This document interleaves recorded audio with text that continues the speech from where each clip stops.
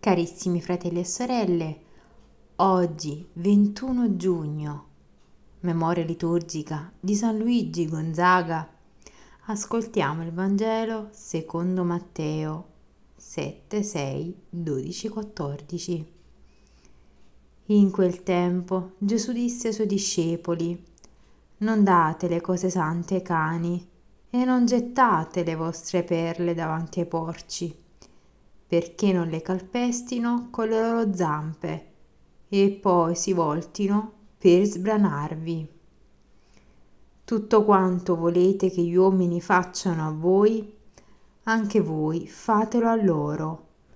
Questa infatti è la legge e i profeti. Entrate per la porta stretta, perché larga è la porta e spaziosa la via che conduce alla perdizione. E molti sono quelli che vi entrano. Quanto stretta è la porta e angusta la via che conduce alla vita, e pochi sono quelli che la trovano. Buon ascolto del commento al Vangelo di Don Luigi Maria Picocco, intitolato Non tutti possono comprendere quello in cui credi.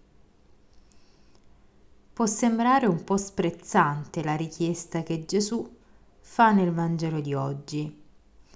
Non date le cose sante ai cani e non gettate le vostre perle davanti ai porci, perché non le calpestino con le loro zampe e poi si voltino per sbranarvi. In realtà dietro un'immagine così poco romantica si cela un realismo pragmatico che non dobbiamo mai perdere di vista. Non tutti possono capire ciò che stiamo vivendo o ciò in cui crediamo. Dimenticarsi di questo significa peccare di ingenuità ed esporre ciò che abbiamo di più caro a pubblico ludibrio. Bisogna sempre scegliere con cura cosa dire, quando dirlo e a chi dirlo. Facendo poi un passo in avanti, Gesù prosegue tutto quanto volete che gli uomini facciano a voi, anche voi fatelo a loro. La regola d'oro che ci ricorda che molto spesso pretendiamo un bene dagli altri, ma non siamo disposti a darlo a nostra volta. Ultima nota realistica del Vangelo di oggi è in quest'ultima notazione.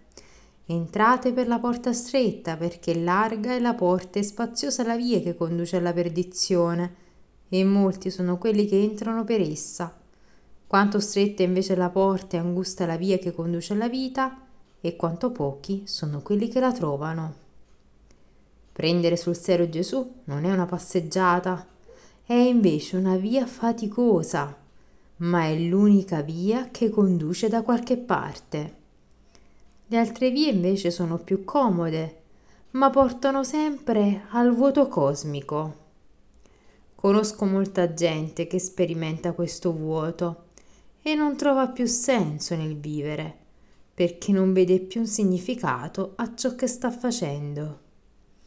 Il Vangelo è esigente, ma dà come contropartita un senso che riempie tutta la vita in ogni suo aspetto e sino alla fine e oltre.